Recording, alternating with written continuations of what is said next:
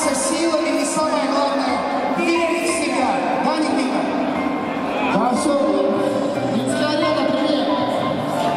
Я бы хотел минуточку вашего внимания.